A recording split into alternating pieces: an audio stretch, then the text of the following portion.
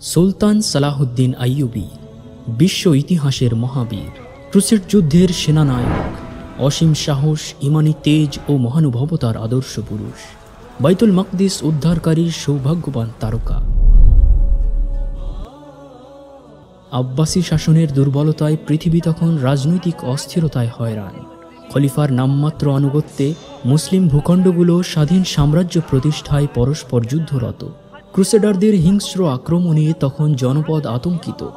আকসাকে হারিয়ে মুসলিম উম্মা তখন দিশেহারা। এমনই এক ক্রান্তিকালে মহান বীর নির্ভীক চিত্তে নিজেকে নিবেদিত করেন ক্রুসেডারদের সাহায্যকারী ফাতিমি সাম্রাজ্যের পতন ঘটান। ইসলামের বিরুদ্ধে যুদ্ধরত সকল শক্তিকে নিশ্চিহ্ন করেন। আব্বাসী খেলাফতের পতাকাতলে উম্মাহকে ঐক্যবদ্ধ করেন। ক্রুসেডারদের ঔদ্ধত্য চূর্ণ করে জেরুজালেম মুক্ত করেন। আজকের মুসলিম উম্মাও নেতৃত্বহীন রাষ্ট্রহারা। রাজনৈতিক অস্থিরতা ও নব্য ক্রুসেডারদের আক্রমণে ছন্ন ছাড়া।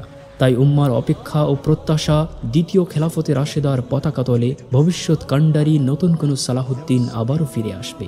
হাতে তুলে নেবে নেতৃত্ব। উম্মার এমন অনাকাঙ্ক্ষিত বাস্তবতার অতীত জানতে পড়ুন বিশ্ববিখ্যাত ইতিহাসবিদ ডক্টর আলী মোহাম্মদ সাল্লাবি রচিত বিশুদ্ধ গ্রন্থ সুলতান সালাহুদ্দিন আইয়ুবী।